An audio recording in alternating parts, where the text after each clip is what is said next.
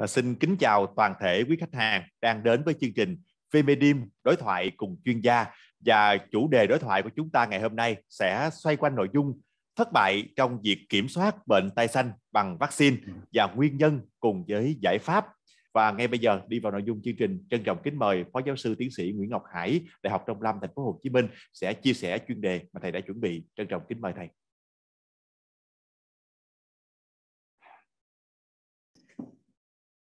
Xin uh, kính chào tất cả bà con ờ, chăn nuôi của mình.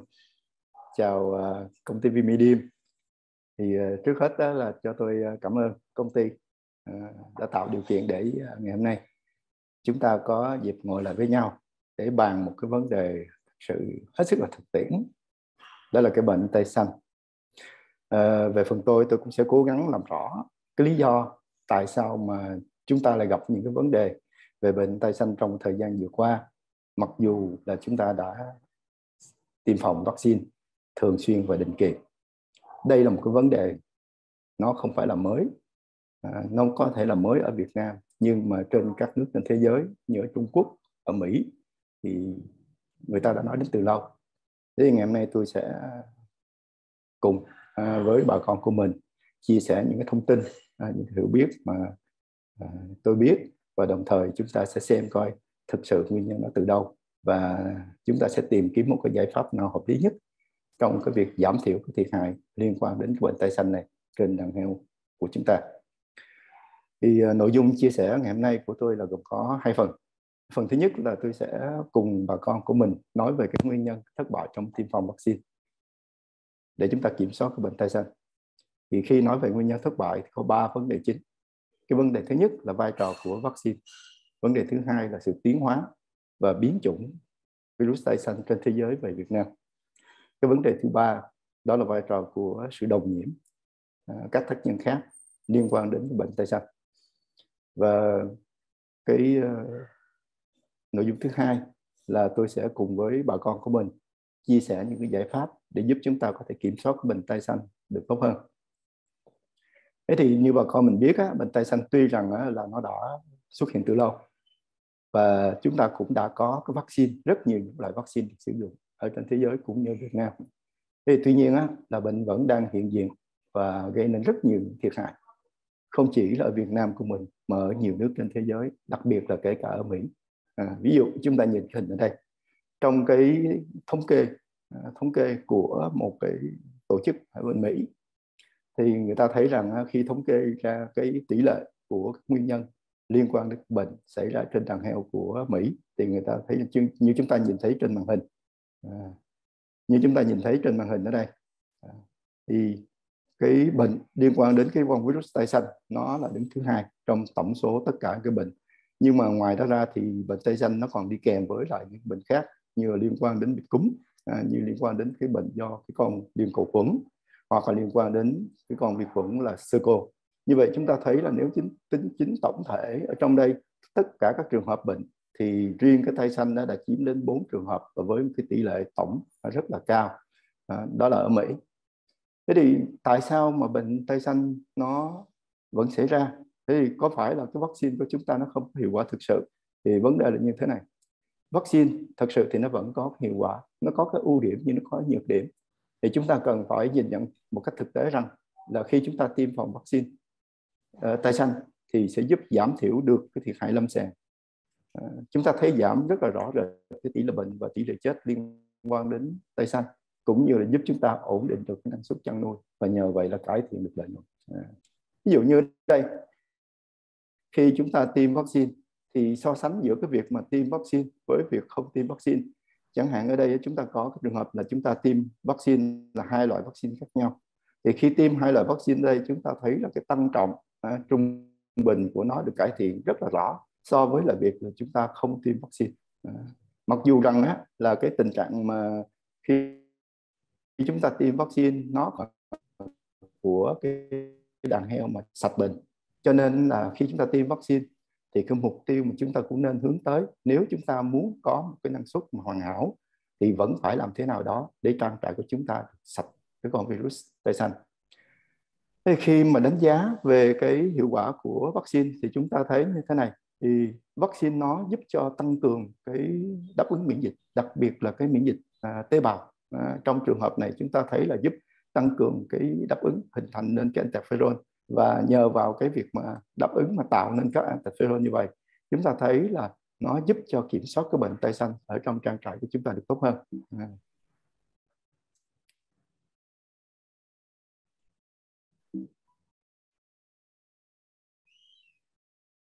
tuy nhiên cái vaccine phòng bệnh tay xanh nó lại có những cái nhược điểm rất là lớn. Và nếu như mà chúng ta muốn mà kiểm soát tốt cái bệnh tay xanh này bằng vaccine chúng ta phải hiểu được cái nhược điểm của nó. Thì khi hiểu được cái nhược điểm của nó thì chúng ta mới có thể khắc phục được. Thì cái nhược điểm thứ nhất á, rất là lớn là chúng ta thấy là cái con heo mà được tiêm vaccine tay xanh á, là nó vẫn gây nên cái tình trạng lưu nhiễm. Cái con virus mà vaccine và như vậy khi nó lưu nhiễm con virus ờ, ờ, tay xanh này trên cái đàn heo được tiêm vaccine thì nó sẽ có thấy nguy cơ dẫn đến biến chủng. Cũng như là nó không hoàn toàn loại trừ được cái con virus nhiễm. Có nghĩa là virus thực địa nó vẫn có thể nhiễm vào và nó tồn tại trong cơ thể của con heo. Và nếu như nó cùng với lại cái con virus mà vaccine hai con nó cùng kết hợp lại với nhau, hình thành nên các biến chủng thì nó có thể là thoát qua được cái hàng rào miễn dịch do chúng ta tiêm vaccine một cái hạn chế thứ ba nữa của vaccine à, tay xanh đó, đó là tạo nên cái miễn dịch trung hòa chậm và ít. Và do nó tạo nên miễn dịch trung hòa chậm và ít cho nên thường cái hiệu quả của vaccine nó sẽ lâu hơn rất là nhiều. Nó đi sau nó đi sau rất là lâu sau khi mà chúng ta tiêm vaccine. Cho nên chúng ta sẽ phải cũng sẽ phải xem xét cái điều kiện này để từ đó chúng ta chọn cái thời điểm chích vaccine cho nó phù hợp. Một trong những vấn đề quan trọng khác của vaccine mà phòng bệnh tay xanh đó, đó là nó không có bảo vệ chéo hoàn toàn thì khi nói mà không để bảo, bảo vệ chéo hoàn toàn thì tôi sẽ phân tích ở phần sau một cách sâu hơn. Nên chúng ta có đến ba cái cái dòng uh, virus. Một là bắc mỹ cổ điển hai là trung quốc độc lực cao và ba là châu âu. Đó thì hiện tại chúng ta cũng có ba cái loại vaccine như thế. Tuy nhiên cái điều đó nó không phản ánh hoàn toàn không phản ánh hoàn toàn về cái nhược điểm của vaccine Tây xanh trong cái việc bảo vệ mà chéo là bởi vì nó có thể dẫn đến cái tình trạng mà chúng ta gọi là bảo vệ không đồng chủng. Cái nhược điểm mà lớn quan trọng tiếp theo phải cân nhắc khi chúng ta sử dụng vaccine trong trang trại của chúng ta là cái vaccine sốt, nhược độc, tái xanh nó không an toàn, hoàn toàn. Đặc biệt là cho nái mang thai giai đoạn cuối. Thì nếu chúng ta sử dụng không khéo thì nó có thể gây nên cái tình trạng mà rối loạn sinh sản trên cái đàn nải của chúng ta. Trước hết là xin chia sẻ trong, đây có một cái minh họa chúng ta về cái cái sự tồn tồn lưu của con virus. À, nhược tin khi mà chúng ta chích vaccine thì con virus vaccine đó, nó không có biến mất hoàn toàn mà nó tồn tại dai dẳng ở trong đàn heo của chúng ta tùy theo cái mức độ miễn dịch trên đàn heo của chúng ta. Mà cái sự tồn tại này nó sẽ xảy ra lâu hay là hay là hay là mau và nó nhiều hay là nó ít. Và do vậy nếu chúng ta không kiểm soát tốt thì như vậy sẽ có nguy cơ cái con virus mà vaccine này nó thể có thể là hình thành nên các biến chủng khi nó tương tác với lại những con virus thực địa. Và như vậy, chúng ta sẽ khó kiểm soát bằng cái vaccine mà chúng ta hiện đang sử dụng. Một cái điểm nữa mà chúng ta cũng sẽ để ý, đó là gì? Cái sự khác biệt giữa cái virus mà đồng chủng và virus mà khác chủng, giữa cái virus mà kiểu gen số 1 hoặc là kiểu gen số 2 có nghĩa thường chúng ta nói kiểu gen số 1 là virus chủng châu Âu. Khi chúng ta nói virus mà kiểu gen số 2 chúng ta nói là chủng virus Bắc Mỹ thì chúng ta thấy là gì cái thời gian mà cái con virus mà à, tay xanh đó, nó vaccine nó tồn tại trong máu rất là lâu à, thậm chí đến 3 tháng sau. Khi mà chúng ta tiêm vaccine thì cái con virus mà vaccine nó vẫn còn ở trong cơ thể của con con heo được tiêm vaccine. Và đây cái từng đó thời gian là đủ để cho nó có thể là biến chủng nếu như nó gặp những cái con virus thực địa trong cái đàn heo của chúng ta. Khi chúng ta thực hiện cái việc tiêm phòng thì giữa cái việc khi chúng ta thực hiện tiêm phòng chúng ta lưu ý như thế này giữa cái miễn dịch mà chúng ta xét nghiệm thông qua cái kỹ thuật ELISA đó với lại cái kỹ thuật cái miễn dịch mà uh, trung hòa để kiểm soát cái con virus ờ, uh, tay xanh đó nó không có phải là hoàn toàn là trùng khớp với nhau. Có thể là khi chúng ta thực hiện cái việc tiêm phòng thì cái nó sẽ tạo nên cái hiệu quả đáp ứng miễn dịch rất là cao. Chúng ta có thể đánh giá thông qua cái xét nghiệm ELISA. Tuy nhiên là con virus uh, con virus thực địa đó nhiễm nó vẫn tồn tại ở trong cơ thể của cái con heo. Và như vậy nó vẫn liên tục là gây nên những cái hậu quả nếu như chúng ta không có những cái biện pháp khác để hỗ trợ cái đàn heo của chúng ta. Còn đối với kháng thể trung hòa thì chúng ta thấy như thế này cái vaccine đó, thường nó tạo nên cái kháng thể trung hòa không có cao à, không có cao. Nếu chúng ta xem ở cái mức là một phần tám à, một phần tám đó là hiệu giá kháng thể trung hòa để mà có thể bảo vệ được cái đàn heo. Thì chúng ta thấy như thế này thường là cái hiệu giá kháng thể trung hòa khi chúng ta tiêm vaccine ít khi nào đạt được mức là 1 phần 8 à, có nghĩa là cái độ pha loãng của cái cái cái ờ, kháng thể trung hòa trong huyết thanh của chúng ta pha loãng càng nhiều cái độ pha loãng càng cao thì cái lượng hàm lượng kháng thể nó càng càng nhiều. Và khi hàm lượng kháng thể mà nó vượt qua được 1 phần 8 thì lúc đó chúng ta mới có hy vọng là kiểm soát được cái virus ở trong máu. Tuy nhiên cái điều mà chúng ta nhìn thấy đó là nếu như mà cái hiệu giá kháng thể nó không đạt được mức 1 phần 8 thì chúng ta thấy là virus nó hiện diện ở trong máu. Còn nếu như không nếu như mà cái hiệu giá kháng thể nó cao hơn, hiệu giá kháng thể trung hòa nó cao hơn một một phần tám thì chúng ta sẽ thấy là gần như nó không có virus ở trong máu. Thì chúng ta cũng sẽ phải cẩn thận. Cái virus trong máu không thấy, điều đó không có đồng nghĩa với lại việc là trang trại của chúng ta đã hoàn toàn là là khỏi, không còn nữa cái con virus. Mà cái con virus đi đâu? Con virus nó không ở trong máu nhưng nó sẽ đi vào trong mô. Đây là một cái minh họa tiếp theo. Có nghĩa là ở cái các nồng độ kháng thể trung hòa khác nhau thì nó có thể kiểm soát được cái con virus ở trong máu nhưng trên thực tế là cái con virus đó nó không hoàn toàn biến mất ở cơ thể con heo và nó đi vào trong mô. Như chúng ta thấy ở đây ở cái hàm lượng kháng thể trung hòa rất là cao đó là một phần 30, 32 hoặc là một phần 16 thì virus nó vẫn tồn tại ở trong mô của cái đàn heo của chúng ta. Ở cái mức là tới logarit là là ba. Có nghĩa là một cái hàm lượng virus khá là lớn. Và như vậy nếu như mà chúng ta không kiểm soát được cái tình trạng miễn dịch của đàn heo, chúng ta không kiểm soát được những cái yếu tố mà chúng ta gọi là bội nhiễm hoặc phụ nhiễm, những yếu tố khác là cái yếu tố nguy cơ, thì khi đó con virus nó sẽ từ trong mô nó sẽ thoát ra và từ như là thoát trong máu đó, và từ đó nó có thể gây tiếp tục cái bệnh lý tay xanh cho đàn heo của chúng ta. Thế thì khi mà chúng ta đánh giá tiếp tục như này, có nghĩa là ngay cả khi mà chúng ta không nhìn thấy con virus ở trong máu ví dụ như ở đây à, ở cái hàm lượng kháng thể trung hòa nó khá là cao thì như vậy nếu như mà chúng ta để cho cái con mà con heo ngay cả khi nó đã âm tính với lại cái con virus mà tay xanh ở trong máu rồi á chúng ta để cho nó tiếp xúc với lại một cái con heo chưa con heo sạch thì sau một khoảng thời gian à, một thời gian đâu đó trong vòng tuần lễ thì cái con heo mà sạch nó cũng sẽ tiếp tục bị nhiễm. Điều đó chứng tỏ rằng là gì? Cái con cái con heo mà có kháng thể trung hòa cao á, thậm chí nó cũng không có loại trừ được cái con virus tay xanh hiện đang trong cơ thể của nó. Và nó vẫn tiếp tục là là bài thải ra bên ngoài và nó lây nhiễm cho những con heo khác. Cho nên đó là chúng ta sẽ phải có một cái chiến lược thật sự là phù hợp để chúng ta có thể làm thế nào luôn luôn kiểm soát được cái tình trạng bài thải của virus tay xanh ở trong đàn heo của chúng ta, ngay cả khi là chúng ta chích vaccine định kỳ thường xuyên và có hiệu giá kháng thể rất là cao. Khi chúng ta nói về cái tình, cái gọi là cái khả năng bảo hộ chéo của vaccine tay xanh thì chúng ta biết rất rõ một điều là cái con virus tay xanh nó có ba cái dòng. Cái dòng Trung Quốc độc lực cao, dòng Bắc Mỹ cổ điển và dòng châu Âu. Thì ba cái dòng virus này á, nó có những cái, chúng ta gọi là nó có những cái tương đồng chung. Có nghĩa là nó có những cái phần kháng nguyên chung. Và những phần kháng nguyên chung đó sẽ tạo nên cái bảo hộ chéo giữa ba cái dòng virus này. Tuy nhiên nó không thể bảo vệ chéo hoàn toàn được. Có những sự khác biệt nhất định giữa cái virus tay xanh Trung Quốc virus Tây Sơn Bắc Mỹ cổ điển và virus của châu Âu. Cho nên là chúng ta sẽ phải hết sức là cẩn thận và hiểu cho nó chính xác và đầy đủ, để từ đó chúng ta có thể là chọn lựa được hoặc xây dựng được cái quy trình vaccine của chúng ta như thế nào cho nó phù hợp và đó tạo được cái hiệu quả mà bảo hộ tốt nhất trên đàn heo của chúng ta. Tôi minh họa tiếp theo.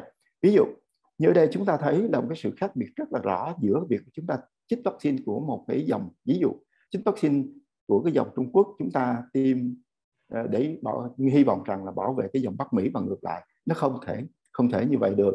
Ví dụ như đây chúng ta nhìn thấy đây.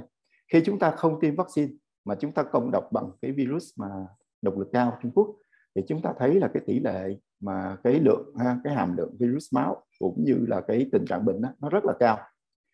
Ờ, rất là cao. Tương tự như vậy ngay cả khi chúng ta tiêm cái vaccine mà dòng Bắc Mỹ nhưng nếu như mà cái trại heo của chúng ta nhiễm con virus mà độc lực cao thì cái hiệu quả vaccine nó cũng không đạt được như mong muốn. Trong khi đó đó chúng ta thấy rằng nếu như chúng ta tiêm cái vaccine mà HB COVID độc lực cao chúng ta nhiễm cái dòng virus mà độc lực cao thì cái hiệu quả bảo vệ hộ của nó tốt hơn. Có nghĩa là ở đây chúng ta thấy nó có một sự tương đồng giữa cái chủng virus vaccine và cái chủng virus thực địa. Tuy nhiên nó không phải là hoàn toàn. Nó không phải là hoàn toàn nghĩa là không hoàn hảo như trong trường hợp mà chúng ta là không có nhiễm à, trong trường hợp mà không nhiễm thì cái cái cái hiệu quả mà chúng ta gọi là trong chăn nuôi của chúng ta sẽ đạt được ở mức cao hơn. Hoặc là ví dụ như đây chúng ta lại thấy một cái ví dụ minh họa khác mà liên quan đến cái chủng virus mà mà nhiễm.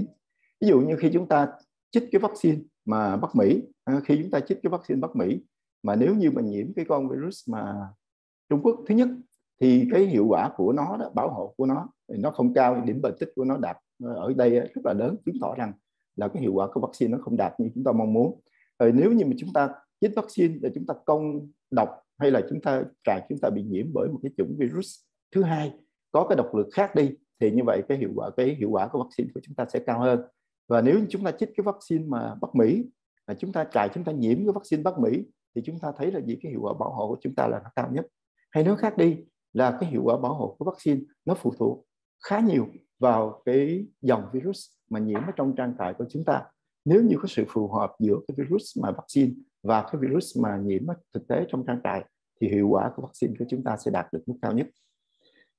Một cái ví dụ khác đó là chúng ta ngay cả khi chúng ta tiêm chích cái vaccine mà chúng ta gọi là đây vaccine mà Trung Quốc độc lực cao thì tương tự như vậy chúng ta cũng sẽ thấy cái tình huống là nó cũng bảo hộ không hoàn toàn đối với lại cái chủng virus mà khác nhau. À, với chủng virus thứ nhất thì có thể là hiệu quả của nó sẽ cao nhưng với chủng virus thứ hai hiệu quả của nó sẽ nó sẽ thấp và nó cũng tùy thuộc vào cái cái vaccine. Nhưng mà rõ ràng rằng cái việc mà chúng ta sử dụng cái vaccine mà cùng một tiếp nó sẽ tạo nên cái hiệu quả bảo hộ cao hơn nhiều so với là chúng ta sử dụng cái vaccine mà nó khác tiếp. Khi người ta đánh giá về cái à, tỷ lệ sống sót sau khi mà gây nhiễm bằng cái con virus độc lực cao thì chúng ta thấy rằng á, là trong trường hợp này giữa cái việc mà vaccine mà đồng tiếp nó sẽ tạo nên cái hiệu quả bảo hộ cao hơn rất là nhiều ở đây là 100% so với trường hợp mà chúng ta chích cái vaccine với lại cái chủng virus của chúng ta nó nó không cùng một tiếp à, thì khi đó hiệu quả bảo hộ của chúng ta nó sẽ không đạt như như mong muốn do vậy chúng ta cũng sẽ phải hết sức là lưu ý à. trong một cái nghiên cứu khác đánh giá về cái hiệu quả của bốn cái loại vaccine à, khi người ta thực hiện việc tiêm vào 21 ngày tuổi và và gây nhiễm bằng cái chủng virus độc lực cao 49 ngày tuổi thì chúng ta thấy rằng rõ ràng rằng là cái vaccine mà đồng tiếp, nó vẫn đem lại cái hiệu quả cao rất là nhiều so với lại cái vaccine khác tiếp. Nhưng mà dĩ nhiên nếu chúng ta không tiêm vaccine thì hiệu quả của nó thực sự là là kém, hiệu quả bảo hộ của đàn heo nó không có. Ừ. Khi đánh giá về tăng trọng, do chúng ta tiêm vaccine thì chúng ta cũng thấy rằng cái việc mà chúng ta không tiêm vaccine và không có gây nhiễm, nghĩa là đàn heo tương đối sạch thì cái tăng trọng của nó đạt được hiệu quả tốt nhất nhưng mà ngay cả khi chúng ta tiêm vaccine thì chúng ta thấy ở đây khi chúng ta tiêm vaccine thì chúng ta sẽ thấy rằng là cái việc tiêm vaccine của chúng ta là như nhau nhưng mà nó sẽ phụ thuộc tùy thuộc vô cái chủng thực địa mà chúng ta nhiễm nếu như mà chúng ta nhiễm chủng thực địa A ví dụ thì chúng ta thấy là cái hiệu quả bảo hộ của nó rất là tốt nhưng nếu chúng ta nhiễm cái chủng thực địa B thì cái hiệu quả bảo hộ của nó không như mong muốn đó là một cái sự khác biệt rất là rõ mà chúng ta muốn nói về cái khả năng bảo hộ chéo của vaccine trong trường hợp này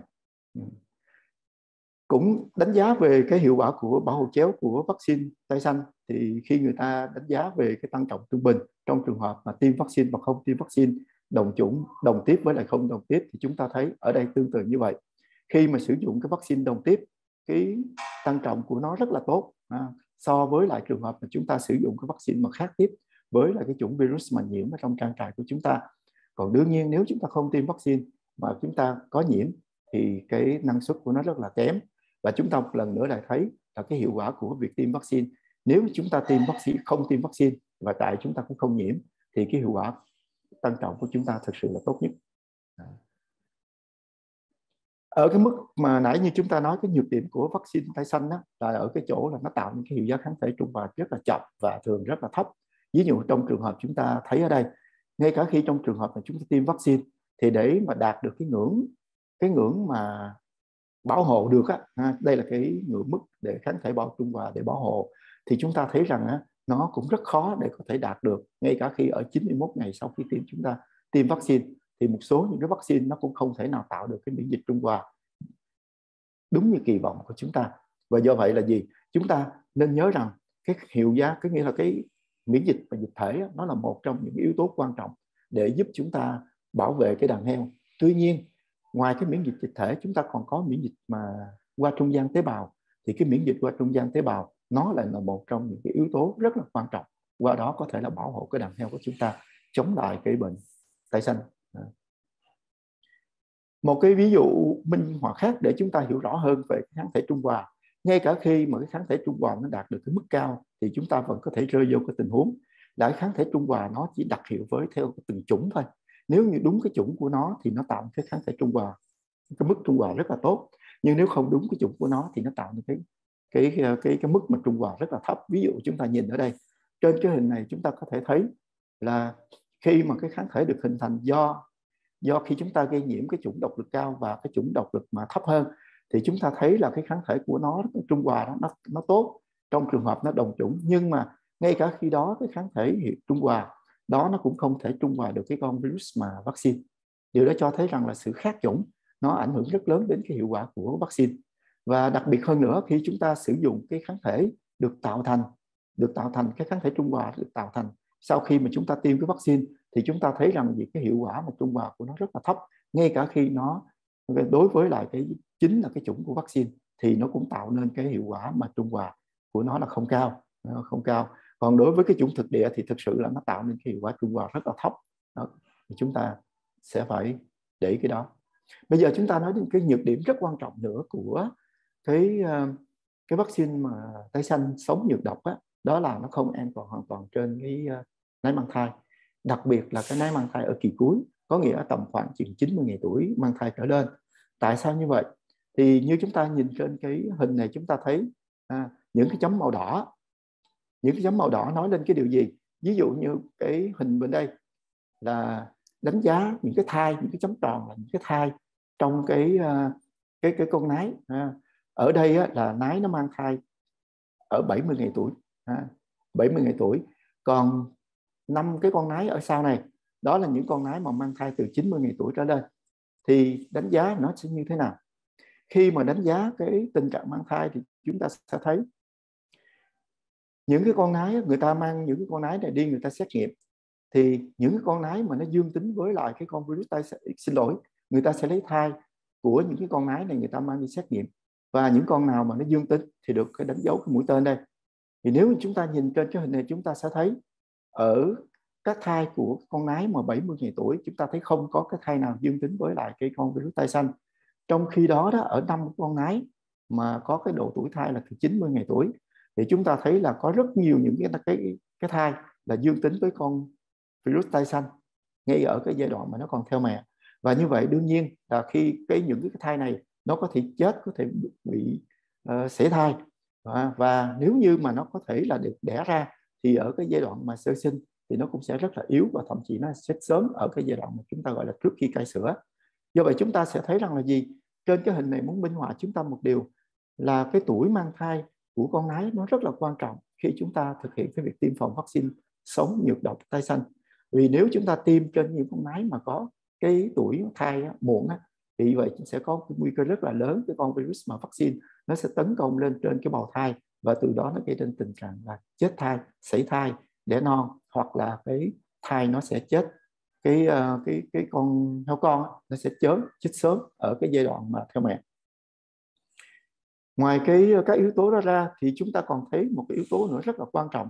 Nó nghĩa là những yếu chúng ta nói về những yếu tố ảnh hưởng đến cái sự thất bại của việc mà chúng ta tiêm phòng vaccine tai xanh ở trên đàn heo của chúng ta. Đó là gì?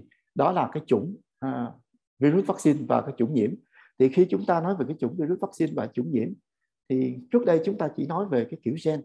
Có nghĩa là chúng ta nói là vaccine cái con virus tai xanh à, Bắc Mỹ, chúng ta nói đến con virus tai xanh, Trung Quốc, chúng ta nói đến con virus mà tai xanh châu Âu.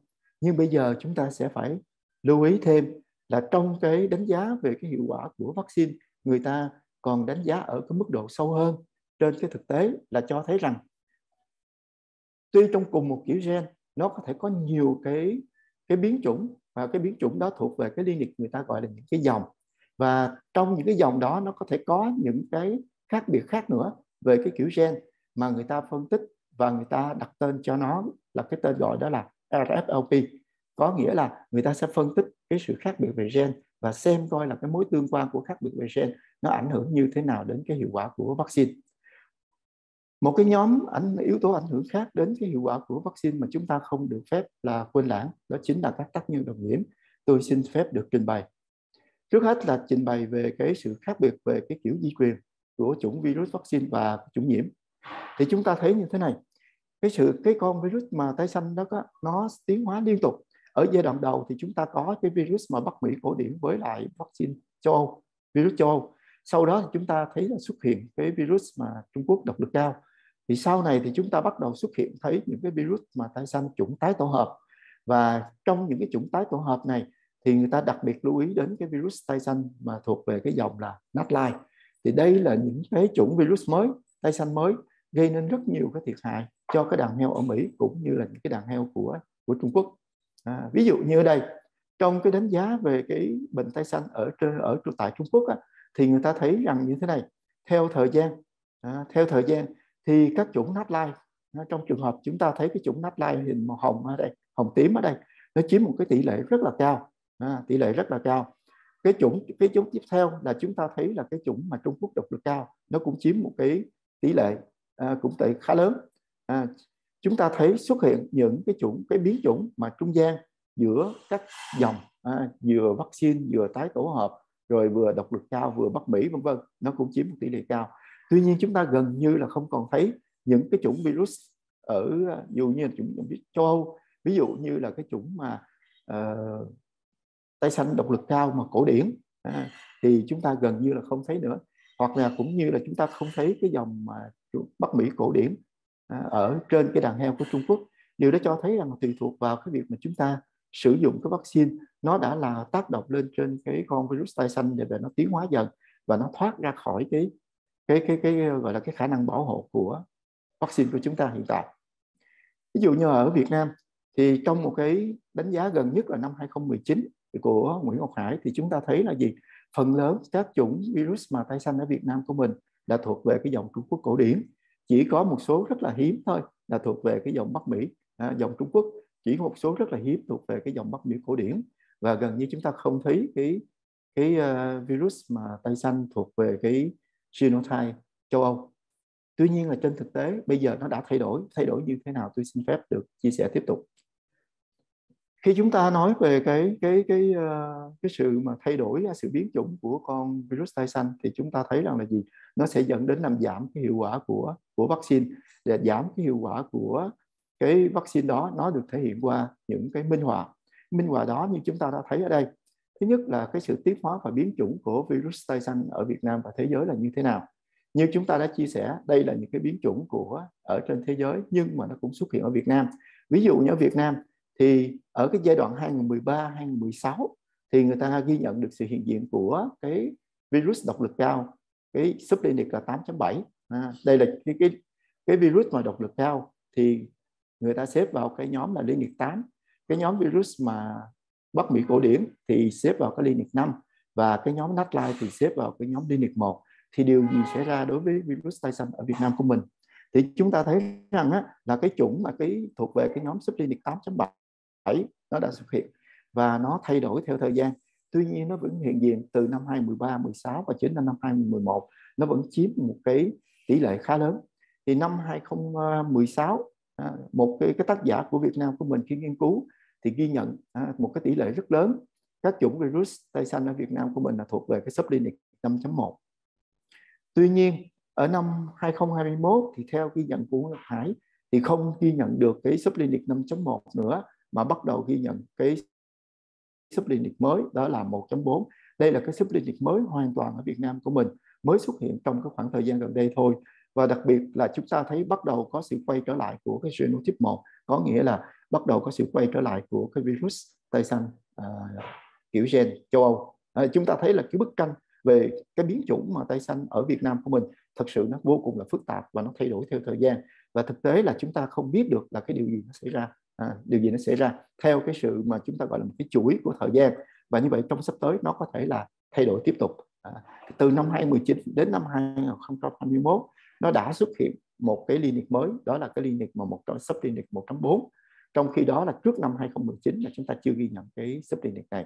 Cũng như trước năm 2019 chúng ta không ghi nhận được cái sự hiện diện của cái chủng virus mà tay xanh kiểu sang châu Âu bây giờ chúng ta lại bắt đầu ghi nhận trở lại cái virus tay xanh kiểu gen châu Âu à, ví dụ như đây khi mà phân tích cái cái trình tự cái kiểu gen của cái virus mà tay xanh ở Việt Nam của mình ở giai đoạn gần đây thì chúng ta thấy là à, một số rất là lớn à, các chủng virus mà tay xanh từ trong thực địa gây bệnh ở các tại các trại thuộc về cái subclinic là 8.7 cùng nhóm với lại cái virus tay xanh độc lực cao Trung Quốc.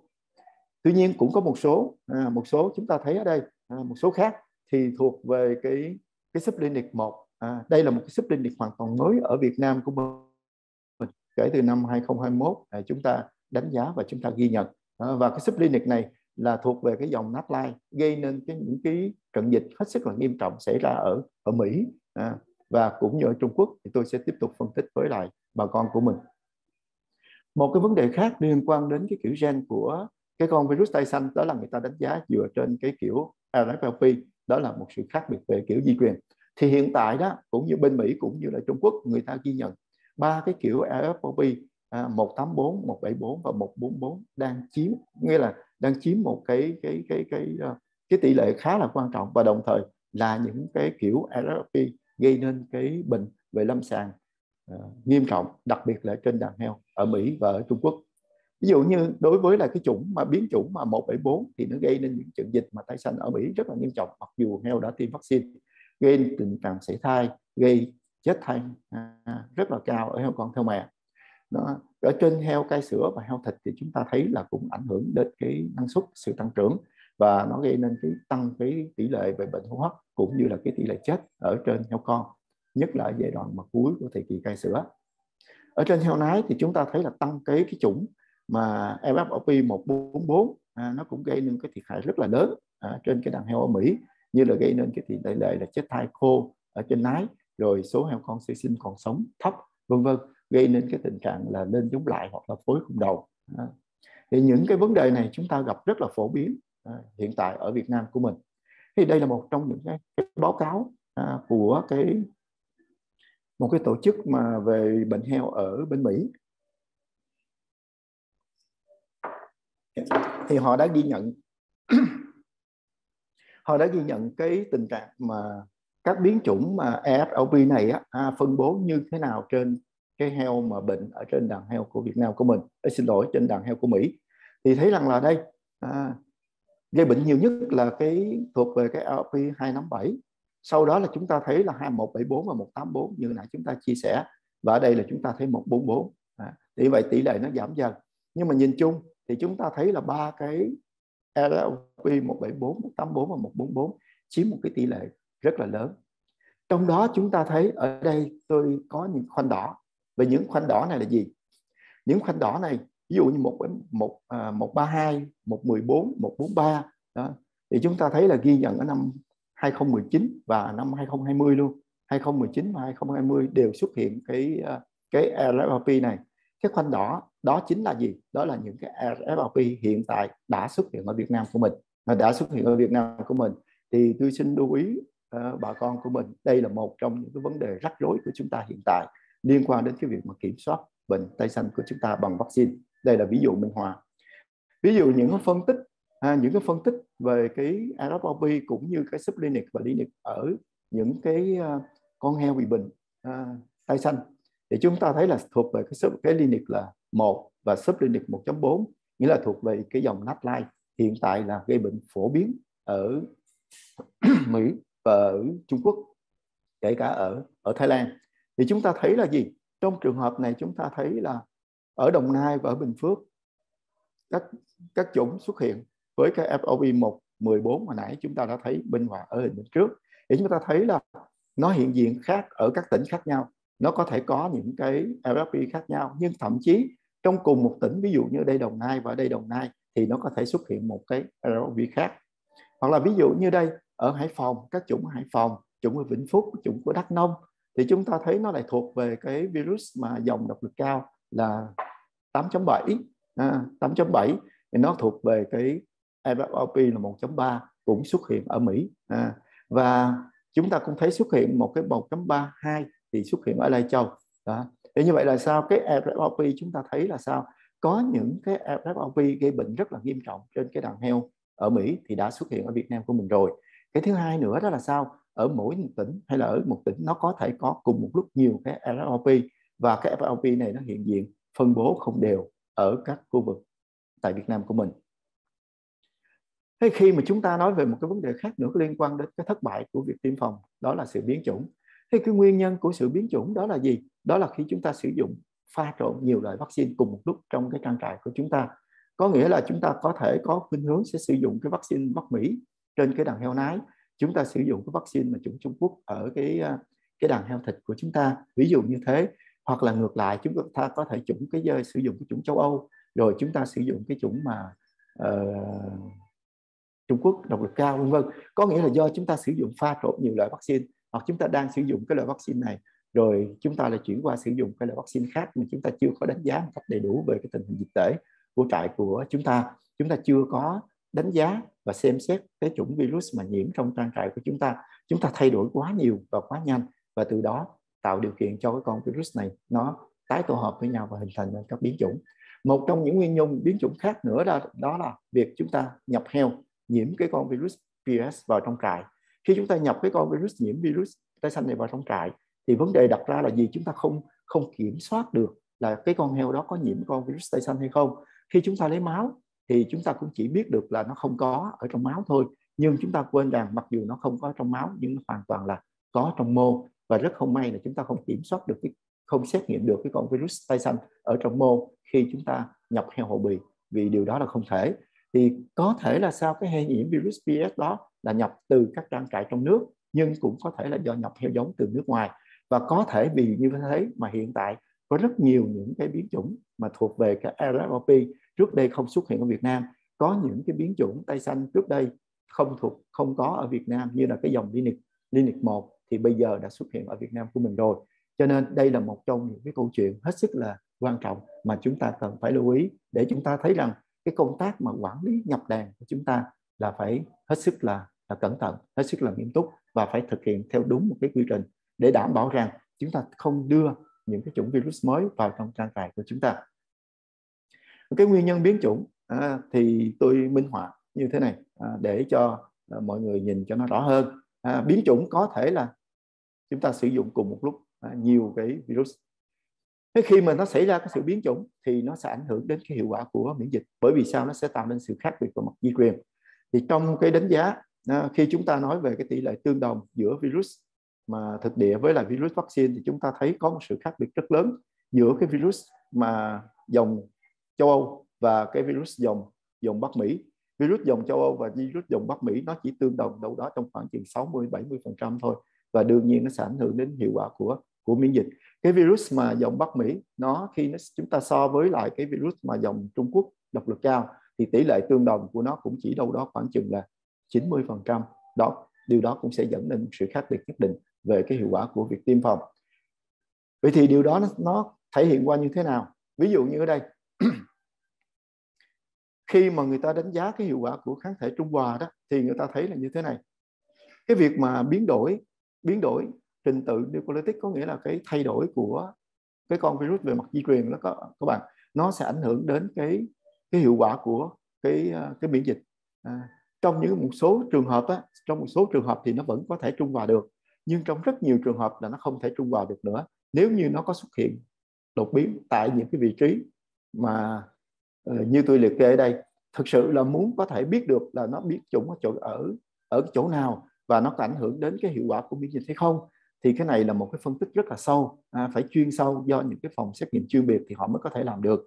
Thì tôi trình bày ở đây để chúng ta thấy rằng đâu tại sao mà trong trường hợp có trường hợp thì chúng ta thấy nó biến chủng nhưng nó không ảnh hưởng đến cái hiệu quả của miễn dịch do tiêm vaccine. Nhưng có trường hợp nó biến chủng nhưng nó lại ảnh hưởng đến à, nó làm giảm đi cái hiệu quả của của vaccine. Thì đó là tùy thuộc vào nó biến chủng như thế nào thì đòi hỏi cần phải có những phân tích chuyên sâu.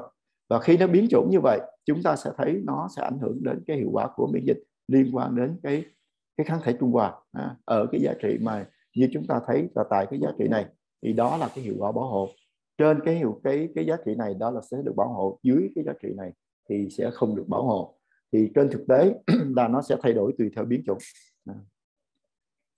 tiếp theo tôi sẽ cùng với lại mọi người nói về hay là phân tích và tìm hiểu về cái sự bội nhiễm liên quan đến cái tay xanh nó là như thế nào. Đây là một trong những nguyên nhân quan trọng dẫn đến cái thất bại của việc tiêm phòng. Trước hết chúng ta nói về cái tay xanh và sự đồng nhiễm thì khi mà trong một cái nghiên cứu và phân tích và đánh giá cho thấy rằng là cái con virus tay xanh đó, nó nó đồng nhiễm với lại rất nhiều những cái tác nhân. Và trong những cái tác nhân mà đồng nhiễm đó chúng ta thấy ví dụ đồng nhiễm với cúm đồng nhiễm với septo đồng nhiễm với lại app đồng nhiễm với lại bordetella mycoplasma Pasteurella hemophilus vân vân. Thì chính sự đồng nhiễm này nó sẽ làm giảm đi hiệu quả của của vaccine à, và làm tăng thêm cái tính nghiêm trọng của bệnh. Ví dụ như đây trong một cái nghiên cứu khác của cái đại học Mosia thì chúng ta thấy cái tình trạng đồng nhiễm với lại cái con virus tay xanh với lại những virus khác thì nó cũng chiếm một cái tỷ lệ rất là cao như chúng ta thấy ở trên trên hình minh họa này. Và chính cái sự đồng nhiễm đó đồng nhiễm đó một lần nữa thì xin nhắc lại làm giảm đi hiệu quả của cái việc mà tiêm phòng của chúng ta. Thì đây, để làm rõ hơn cái tác hại của cái đồng nhiễm tác hại của đồng nhiễm đối với là cái bệnh tay xanh như thế nào thì có cái hình minh họa đây trước hết là đồng nhiễm virus với lại virus để chúng ta thấy trên hình này đang minh họa chúng ta là cái con virus tay xanh đây là virus cô đây là virus cúm, à, đây là virus dạ dày, đây, đây là cái một cái con virus mà hô hấp, à, hô hấp gây bệnh trên đường hô hấp, đây là virus dạ dày, đây là virus Paco, vân vân. Thì chúng ta thấy rằng á, nếu như mà chúng ta xem cái mức độ mà cái mức độ mà cộng hưởng á, của những con virus này đối với lại cái con virus tay xanh thì chúng ta thấy là gì? Tất cả đều ở cái mức màu đỏ đến màu nâu đỏ. Điều đó chứng tỏ rằng là gì? Khi mà có sự bội nhiễm à, virus sơ cô virus cúm à, virus mà gây bệnh trên đường hô hấp à, cái con coronavirus ở bệnh chết heo cái con virus Oiski thì chúng ta thấy là gì cái tình trạng bệnh lý lâm sàng liên quan đến tay xanh nó sẽ gia tăng à, gia tăng và đây cũng vậy minh chứng cho chúng ta thấy rất là rõ nếu như mà có sự đồng nhiễm thì cái tình trạng lâm sàng do uh, liên quan đến tay xanh nó sẽ gia tăng. Một cái tình trạng bội nhiễm khác là liên quan đến vi khuẩn. Thì khi chúng ta nói đến liên quan vi khuẩn thì nó cũng tương tự như thế.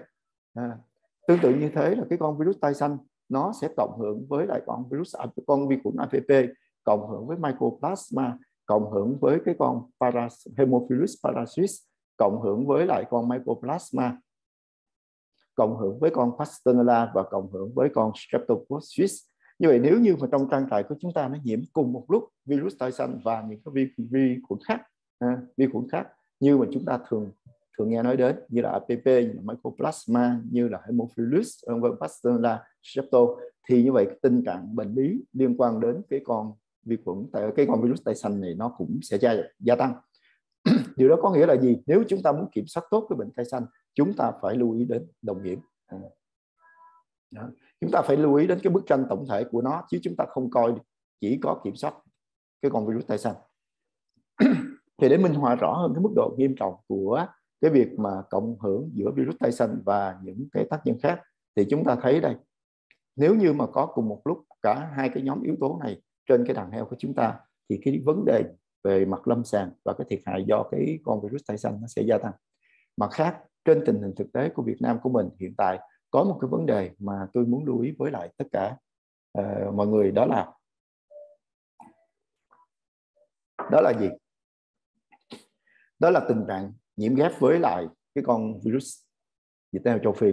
Liệu có câu chuyện này hay không? Trên thực tế là có. Trên thực tế nói với chúng ta một điều là như thế này cái virus dịch tễ châu Phi không biến mất.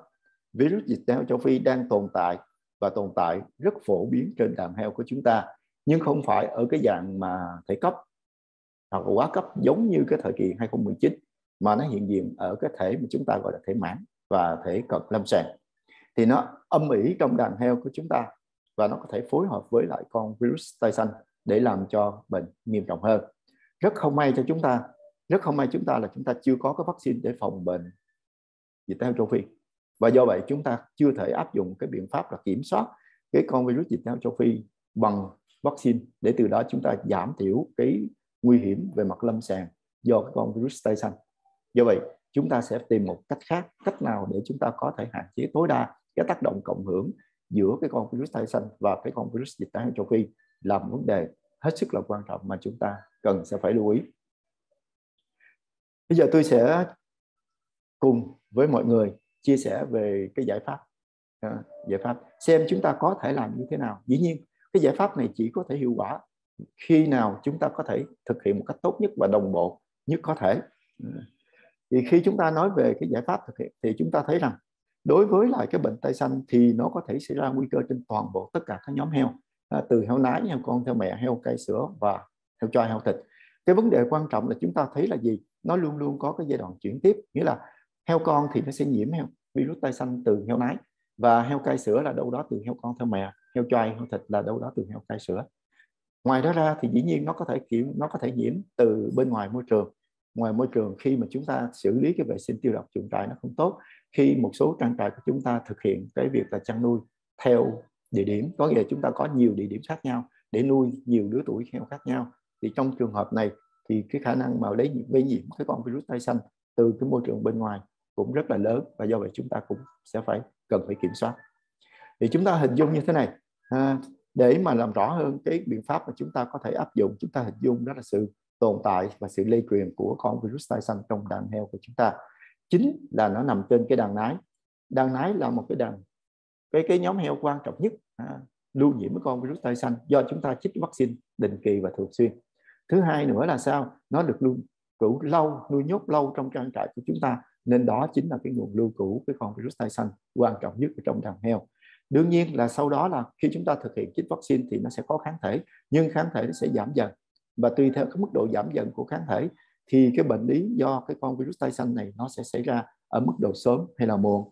Và chúng ta phải nhớ rằng cái con virus tay xanh nó không biến mất hoàn toàn nếu như chúng ta không thực hiện các biện pháp mà các giải pháp triệt để uh, hỗ trợ để nó có thể là loại trừ con virus này ra khỏi cơ thể của nó.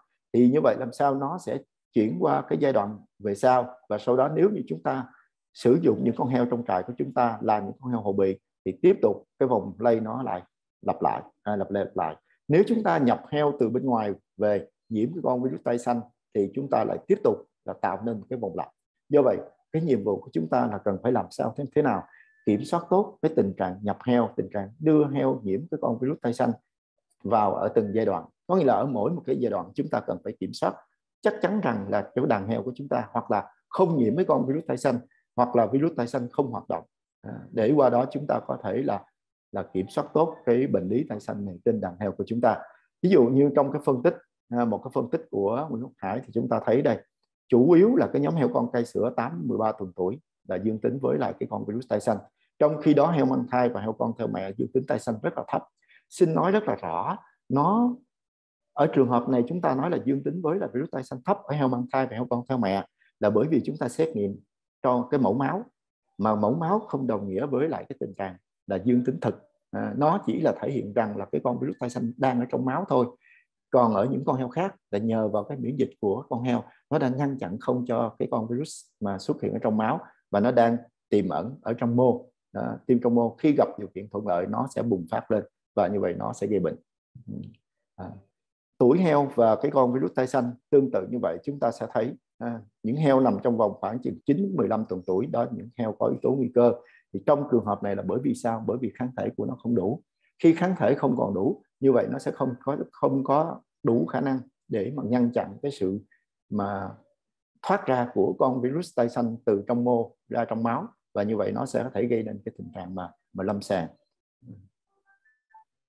Thì trong một cái ờ, nghiên cứu một cái đánh giá của một cái phòng xét nghiệm ở Mỹ thì chúng ta thấy rằng người ta uh, cho chúng ta biết được cái tỷ lệ heo dương tính với lại virus tay xanh khi đem đến cái phòng chẩn đoán và xét nghiệm này. Thì chúng ta thấy là chủ yếu là nó thuộc về cái nhóm heo cai sữa và heo thịt. À, chủ yếu là thuộc về cái nhóm heo sau cai sữa và và heo thịt. Thì điều đấy cho thấy rằng là cái hiệu quả bảo hộ của vaccine tay xanh của chúng ta ở cái giai đoạn sau này nó là không còn hiệu quả giống như mong muốn nữa. Dĩ nhiên là nó có lý do lý do là bởi vì sao? Bởi vì cái việc mà kiểm soát của chúng ta ở cái giai đoạn đầu nó không được tốt, cho nên nó tạo điều kiện cho cái con virus tay xanh nó đã hiện diện sẵn ở trong trang trại hoặc hiện sẵn, hiện diện sẵn trong cái con heo của chúng ta, nó có cơ hội bùng phát lên và từ đó nó gây bệnh. Ừ. Thế bây giờ giải pháp của chúng ta là phải cần thực hiện đồng bộ bốn cái nhóm giải pháp. Cái nhóm giải pháp thứ nhất là an toàn sinh học, nhóm giải pháp thứ hai là vaccine, nhóm giải pháp thứ ba là hỗ trợ miễn dịch và nhóm giải pháp thứ tư là kiểm soát đồng nhiễm. Tôi xin phép được đi vào chi tiết hơn đối với kiểm soát an toàn sinh học thì chúng ta kiểm soát an toàn sinh học ngoài. Cái điều quan trọng nhất là chúng ta phải nhập heo âm tính với lại tai xanh. Đây là một cái khó. Cái khó là bởi vì sao? Có những trường hợp heo nó nó không có virus ở trong máu, nhưng mà nó vẫn dương tính. Thì trường hợp này chúng ta sẽ gặp khó. Thì chúng ta phải thực hiện một cái kỹ thuật chẩn đoán đặc biệt. Thật ra nói đặc biệt là ở chỗ như thế này. Có nghĩa chúng ta phải dựa trên một cái nguyên tắc là heo khi mà nó nhiễm âm tính thì nó ở trong tế bào và trong mô. À, trong mô. Thì khi đó chúng ta phải lấy mẫu mà mẫu cho nó đúng. Mẫu trong trường hợp này sẽ là mẫu máu kháng đông. Thông thường do thói quen chúng ta lấy mẫu máu đông để mà cho nó dễ cho nó thuận tiện. Vì cái cái ống mà chứa chất kháng đông thường ít khi nào mà có sẵn. Do vậy thường cái kết quả của chúng ta nó sẽ không có đảm bảo được cái độ tin cậy. Tốt nhất trong trường hợp kiểm soát à, heo âm tính đối với lại tai xanh khi nhập bầy chúng ta nên lấy mẫu máu kháng đông. Sau đó chúng ta sẽ phải thực hiện cách ly thích nghi thật là phù hợp ở giai đoạn này, chúng ta phải làm vaccine, làm tất cả các thứ để đảm bảo rằng là cái con heo của chúng ta khi nó nhập vào trong đàn sinh sản là nó không có khả năng, ở đây tôi nói là không có khả năng bài thải cái con virus tai xanh ra bên ngoài để nó có thể lây nhiễm cho những con heo khác. Cái quan trọng là chúng ta phải kiểm soát sự bài thải. Để không kiểm soát sự bài thải, nghĩa là không có virus máu. Cái điều đó là là cốt lõi. Còn nếu nó ở trong mô thì về cơ bản là nó có thể là không bài thải. Chúng ta thực hiện cái vệ sinh tiêu độc một cách là nghiêm ngặt thực hiện vệ sinh tiêu độc nghiêm ngặt. Nếu như mà cả ba cái nhóm giải pháp mà chúng ta làm tốt, thì chúng ta có thể ngăn chặn được sự xâm nhập của virus tai xanh từ bên ngoài. Tiếp theo là gì? Tiếp theo chúng ta nói đến tại sao chúng ta lại phải thực hiện như vậy là vì mục tiêu là chúng ta muốn có một cái trại âm tính với lại virus. Tai xanh đồng thời là chúng ta ngăn không cho xuất hiện cái biến chủng mới xâm nhập. Tại vì khi mà nó, nếu như trại mà âm tính thì đó là tuyệt vời, vì như vậy năng suất của chúng ta sẽ đạt được rất cao chúng ta không phải sử dụng vaccine nữa. Và nếu chúng ta ngăn chặn được cái sự biến chủng thì chúng ta có thể yên tâm với lại cái vaccine mà chúng ta sử dụng. À, nó sẽ ít gây nên những cái đột biến liên quan đến cái hiệu quả của của vaccine. Đối với lại cái an toàn sinh học bên trong thì cũng tương tự như vậy. Các giải pháp an toàn sinh học bao gồm vệ sinh tiêu độc hạn chế ghép bầy đàn. Hạn chế ghép bầy đàn đây là một trong những cái điều mà thường chúng ta không có làm tốt. Đặc biệt là ở những cái trang trại mà chúng ta nuôi theo cái hình thức là nuôi side by side á side by side là những chúng ta, ví dụ chúng ta nuôi chuyên là nuôi heo cai sữa hoặc chuyên nuôi heo thịt, chúng ta sẽ nhập heo từ cái, từ khu vực khác, từ các trại mà heo giống về chúng ta nuôi. Nhưng khi chúng ta nhập về thì đôi khi chúng ta sẽ nhập heo từ nhiều trại. Thì chúng ta không biết được cái tình trạng mà nhiễm cái con virus tay xanh ở các trại khác nhau, mà chúng ta cũng chỉ cứ nhập chung về thôi. Và đó là một cái điều mà hết sức là nguy hiểm. Cho nên tốt nhất chúng ta cần phải quản lý cái điều này tốt, cần phải kiểm soát chắc chắn rằng những cái heo chúng ta nhập về hoặc là nó âm tính hoặc là nếu dương tính thì nó phải không có bài thải con virus này ra bên ngoài. Chúng ta cần phải làm tất cả để có thể đạt được điều đó. Cùng vào cùng ra là một trong những biện pháp cực kỳ là then chốt để chúng ta có thể là kiểm soát được cái sự lây truyền của con virus tai xanh này ở bên trong. Đặc biệt nữa là chúng ta phải tầm soát dịch tễ định kỳ. À, đây là một cái điều mà thường chúng ta thiếu. Thường là chúng ta ít khi nào mà lấy mẫu định kỳ 3 tháng hoặc 6 tháng để chúng ta xem coi cái tình trạng mà tay xanh virus tay xanh trong trang trại của chúng ta như thế nào thì tôi đây tôi chia sẻ chân thành. Tôi nghĩ rằng nếu như mà chúng ta muốn có được cái chiến lược mà kiểm soát được cái con virus tay xanh này một cách hiệu quả tốt nhất thì chúng ta cần phải thực hiện việc tầm soát định kỳ này. À, còn thực hiện như thế nào nó ra làm sao thì uh, mọi người hoặc là bà con mình có thể liên lạc với những chuyên gia hoặc là các công ty để họ hỗ trợ tư vấn mình. À, kiểm soát nhiễm chéo cái việc kiểm soát nhiễm chéo ở đây có thể là thực hiện ngay trong cái trang trại của chúng ta. Thì thông thường là trang trại của chúng ta sẽ có nhiều cái cái phân khu, nhiều phân khu để nuôi. Chúng ta có phân khu của heo nái, chúng ta có phân khu của heo sau cai sữa.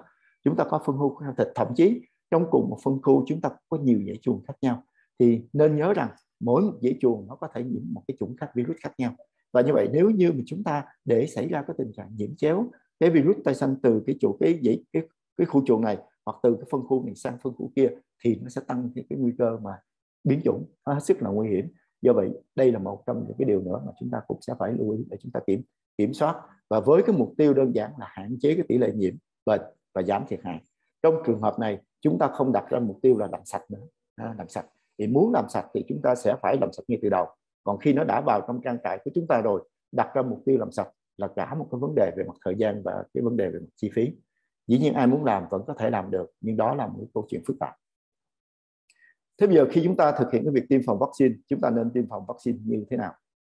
Khi chúng ta thực hiện việc tiêm phòng vaccine, thì trước hết chúng ta phải nhớ có 6 cái nguyên tắc cơ bản à, trong cái chiến lược mà tiêm phòng vaccine tay xanh thứ nhất là chúng ta phải làm thế nào đó để đảm bảo được rằng là cái đàn sinh sản của chúng ta phải âm tính với virus tay xanh và đặc biệt, đây là một cái điểm tôi xin nhắc lại là chúng ta không bao giờ tiêm cái vaccine sống nhược độc tay xanh cho cho cái đàn heo nọc.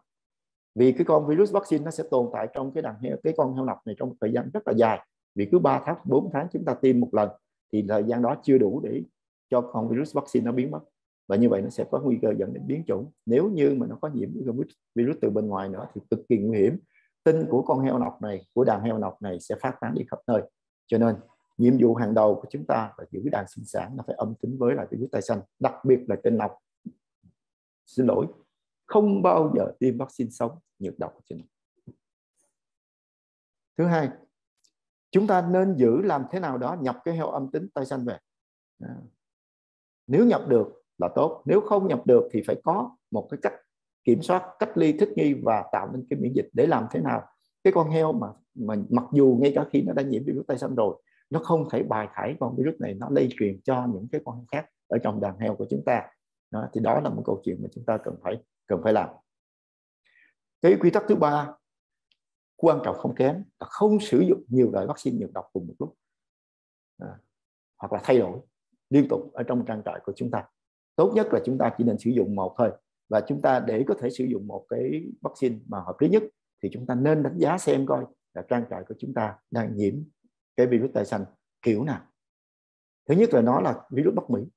Nó là virus hp dòng trung quốc hay nó là virus châu âu? Khoan nói đến là cái cái cái cái, cái thương hiệu tôi không có nói tôi chỉ nói đến cái chỉ virus thôi. Và dựa trên đó mà lựa chọn lựa chọn phù hợp nhất. Dĩ nhiên cái khó của chúng ta nếu lỡ mà trại chúng ta nhiễm hai chủng đó thì sao? Thì tôi xin lỗi tôi cũng không biết sẽ phải giải quyết như thế nào.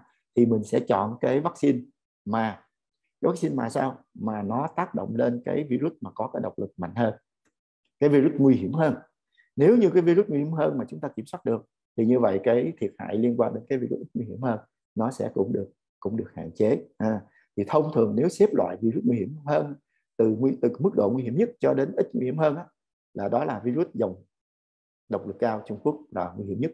Tiếp theo là Bắc Mỹ và sau đó là châu Âu. À, sẽ là châu Âu.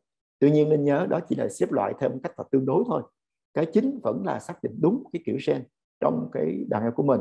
Tiếp theo bây giờ nếu như mà mọi người để ý mọi người sẽ thấy cái vaccine mà tây xanh nhiệt độc ở trên thị trường nó không phải chỉ có kiểu gen Bắc Mỹ Trung Quốc và châu Âu đâu mà người ta còn theo cái gì? Theo cái lineage nữa. Có nghĩa là cái lineage 8 à, 7 5 hay là một thì mình cũng nên dựa theo cái đó. Mình cũng nên dựa theo cái đó vì nó càng gần chừng nào với lại cái lineage nghĩa là càng gần cái gen tương đồng di truyền chừng nào thì hiệu quả của nó sẽ càng càng cao chừng đó dạ. không lạm dụng vaccine. Không lạm dụng vaccine là bởi vì như thế này, cái con virus vaccine thì nó luôn luôn hiện hữu trong đàn. Khi chúng ta sử dụng cái quy trình mà tiêm 3 tháng 4 tháng thì nó đã hiện hữu rồi, cộng với là cái virus thực địa.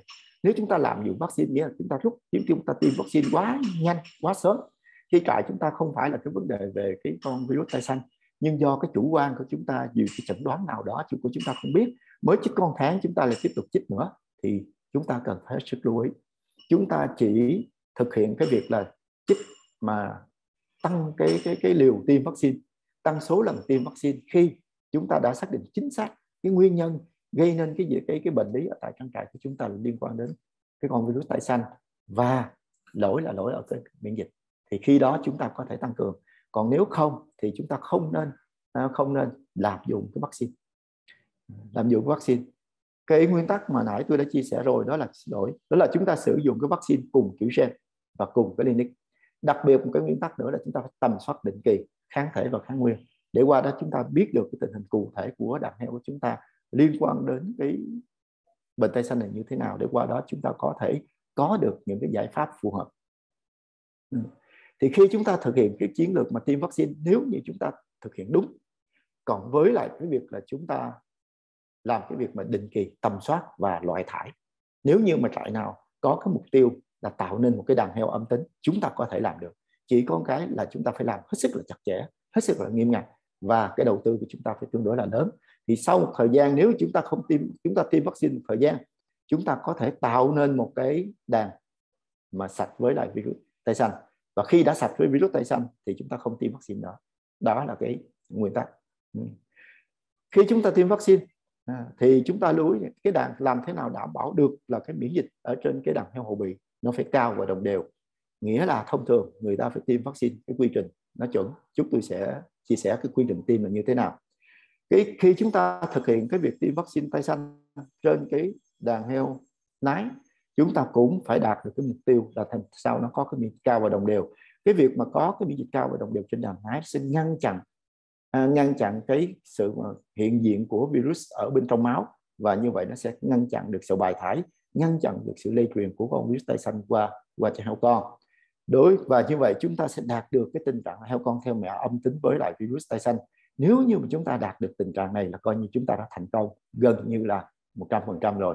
Là bởi vì sau đó chúng ta sẽ thực hiện cái việc tiêm phòng trên cái đàn heo sau cây sữa của chúng ta hoặc là heo con theo mẹ ở giai đoạn muộn thì khi đó nó sẽ bảo vệ cho đàn heo của chúng ta cho đến lúc xuất thịt xuất chuồng. Để làm chi? Để đảm bảo rằng là heo cây sữa, heo thịt chúng ta nó không có vấn đề về lâm sàng liên quan đến cái con virus tai xanh. Tôi nói không có vấn đề về lâm sàng, nó khác với lại cái câu chuyện là không còn heo dương tính với lại virus tai xanh. Vẫn có thể còn virus heo, cũng còn cái con virus tai xanh này ở trong đàn heo của chúng ta. Nhưng nó không đủ mạnh để nó có thể gây nên cái thiệt hại về mặt lâm sàng. Đó là mục tiêu của việc tiêm phòng vaccine. Thế khi mà chúng ta nói về cái tiêm phòng có vaccine thì chúng ta thấy như thế đây. Cái việc mà khác biệt về di truyền nó càng lớn chừng nào thì nó sẽ làm cho hiệu quả của vaccine sẽ càng giảm chừng đó. Nó sẽ làm gia tăng cái nguy cơ biến chủng à, tái tổ hợp và đương nhiên cái hiệu quả của vaccine càng càng kém. À, ví dụ như đây. Ví dụ như đây trong một cái đánh giá chúng ta thấy nếu như mà cái hiệu quả mà tương đồng di truyền càng thấp ví dụ trong trường hợp mà tương đồng 95 đến 99,5 phần trăm thì chúng ta thấy là những cái hiệu quả trung hòa của nó bảo hộ rất là cao. Nhưng nếu như mà nó chỉ trung hòa mức 84 ở đây 84 88 phần trăm, thì chúng ta thấy là gì? Nó đòi hỏi phải có cái hàm lượng kháng thể trung hòa cao hơn à, cao hơn rất là nhiều so với là trường hợp nó tương đồng thấp hơn. Nghĩa là ở đây nói với chúng ta một cái điều là như thế này. Trên thực tế, cái vaccine vẫn có bảo hộ chéo. Các vaccine châu Âu, Trung Quốc, Bắc Mỹ đều có bảo hộ chéo. Tuy nhiên, cái bảo hộ chéo nó không đủ nó không đủ bởi vì sao? Giá kháng thể trung hòa phải rất cao thì nó mới có thể bảo hộ chéo được bởi vì sự khác độc khác biệt về tương đồng di truyền và và tương đồng kháng nguyên của nó quá lớn. Đó thì chúng ta có thể tham khảo à, tham khảo về cái mức độ tương đồng di truyền để chúng ta có thể hình dung cái hiệu quả của của vaccine đối với là cái chủng thực địa trong trang trại của chúng ta à, trong trang trại của chúng ta. Ví dụ như đây cái việc cái à, cái trung hòa à, tôi xin nhắc lại là nó khác biệt rất là là rõ giữa các chủng à, ở cái ví dụ khác rất là điển hình rất là rõ ràng. Một cái đánh giá của tác giả ở bên Trung Quốc khi người ta lấy cái cái cái huyết thanh của heo được tiêm vaccine. À, lấy cái huyết thanh của heo được tiêm vaccine người ta mới đem thử xem coi nó như thế nào có trung hòa được hay không trung hòa được cái chủng thực địa. Thì người ta thấy như thế này. Khi người ta làm cái xét nghiệm ELISA thì cái tỷ lệ dương tính với lại cái kháng thể tay xanh nó rất là cao. Nó từ ở đây chúng ta thấy là có rất nhiều trại đạt đến 100% dĩ nhiên có một số trại nó đạt thấp thì chúng ta không nói rồi. Nhưng có những trại nó đạt rất là cao 100% ở đây. Chín mươi mấy. Nhưng khi nhưng khi lấy cái huyết thanh này à, lấy huyết thanh dương tính ở những cái trại dương tính đem thử cái kháng thể trung hòa trung hòa với lại con virus thực địa thì thấy trong trường hợp này gần như là không có trường hợp nào có thể trung hòa được cái con virus thực địa à, ví dụ trong trường hợp với cái biến chủng một thì có một số à, tỷ lệ nhất định nhưng mà cũng mức rất thấp chỉ từ 3 đến 4 phần trăm là có khả năng trung hòa được cái biến chủng thực địa thôi. Đó như vậy chúng ta thấy là gì? Cái hiệu quả của vaccine thực sự à, nó có thể không đáp ứng được cái kỳ vọng như chúng ta mong muốn. Tuy nhiên cái mức mà biểu hiện lâm sàng cái thiệt hại tỷ lệ bệnh tỷ lệ chết do cái virus thực địa nó sẽ thay đổi tùy theo chủng. Cho nên chúng ta có thể sẽ không ngạc nhiên tại sao cái trại của này chích vaccine? Thì nó cũng bệnh nhưng mà bệnh nó nhẹ. Tại sao trại kia nó bệnh nặng? Có thể là liên quan đến không phải là hoàn toàn cái chủng mà virus thực địa. Chủng virus thực địa. Thế thì đối với lại chủng virus thực địa và cái cái chủng vaccine thì tôi xin chia sẻ như thế này. Hiện tại cái chủng mà virus vaccine của chúng ta đó à, chúng ta có cái chủng virus vaccine kiểu gen số 2 à, kiểu gen số 2 có có nghĩa chúng ta có vaccine mà bắt bị cổ điển chúng ta có vaccine dòng độc lực cao chúng ta cũng có vaccine NatLine à, NatLine chúng ta có cái vaccine kiểu danh số 1 có nghĩa vaccine châu Âu. À, nhưng mà chúng ta không rõ về cái kiểu RFP của vaccine. Chúng ta không rõ. À, thì hiện tại đó cái liên lịch mà virus vaccine đó, là nó có ba cái liên lịch một cái virus cái vaccine nó có liên lịch 8 một cái virus vaccine thì nó có liên lịch 5 vaccine khác thì có lineage một. Nghĩa là sao? Nghĩa là các loại vaccine tái xanh ở Việt Nam của mình hiện tại đều có cả ba loại, đều có cả ba loại. Bắc Mỹ, Trung Quốc độc lực cao và châu Âu. Nhưng đồng thời đó, nó có cả luôn cái lineage là thuộc về lineage 8 thuộc về lineage 5 thuộc về lineage 1 nó khá trùng với lại các chủng virus thực địa ở Việt Nam của mình. Nghĩa là các chủng virus thực địa ở Việt Nam của mình cho đến giờ này, theo như là nghiên cứu đánh giá của chúng tôi thì cho thấy rằng nó nó có đủ ba kiểu gen, Bắc Mỹ cổ điển Trung Quốc, Natline. Ha. xin lỗi, nó có cả hai kiểu gen. Kiểu gen Bắc Mỹ bao gồm Trung Quốc cổ điển, Bắc Mỹ cổ điển, bao gồm Trung Quốc độc lực cao, bao gồm Natline. Nó có luôn cái kiểu gen của châu Âu à, của châu Âu. Nhưng mà thực địa FLP thì nãy tôi chia sẻ với lại mọi người rồi, nó có những cái FLP rất là đặc biệt à, gây bệnh ở Mỹ, gây bệnh ở Trung Quốc và nó cũng gây bệnh ở Việt Nam. Thì cái lineage ở Việt Nam của mình đã xác định được ba cái lineage đó là lineage 8, 5 và 1 trùng với lại cái lineage của vaccine. Đó đều được may mắn cho chúng ta. Nhiệm vụ tiếp theo là chúng ta chỉ lựa chọn thôi. Chúng ta lựa chọn cái vaccine phù hợp với lại cái lineage trong cái lineage của cái chủng virus gây, gây bệnh ở trang trại của mình. Thì theo tôi chúng ta sẽ có cái hy vọng cao hơn trong cái việc kiểm soát cái bệnh do cái cái con virus tay xanh này trong trang trại của chúng ta. Về mặt quy trình khi chúng ta thực hiện việc tiêm thì đối với nọc nhưng xin nhắc lại một lần nữa, không tiêm vaccine nhiều nọc đối với nái, định kỳ chúng ta tiêm 3 4 tháng một lần, nhưng nên nhớ lưu ý, trên cái nái mang thai lớn hơn 90 ngày tuổi, nó sẽ có nguy cơ gây nên cái, gọi là cái rối loạn sinh sản ở trên cái nhóm heo nái này. Cho nên chúng ta phải hết sức cẩn thận à, hết sức cẩn thận. Không phải lúc nào cũng xảy ra, nhưng đa phần là xảy ra trên nái hậu bì nái tơ. Từ tại vì sao? Bởi vì nái hậu bì và nái tơ, miễn dịch chưa đủ ổn định và chưa đủ mạnh.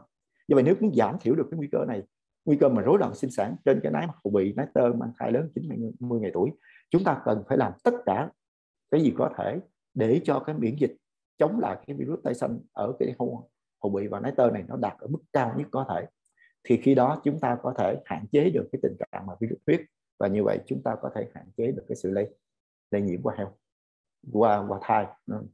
Đối với hậu bị thì để có thể là tạo được cái miễn dịch tốt cho hậu bì, thì chúng ta nên nhớ quy trình là bắt buộc phải tiêm tối thiểu hai mũi.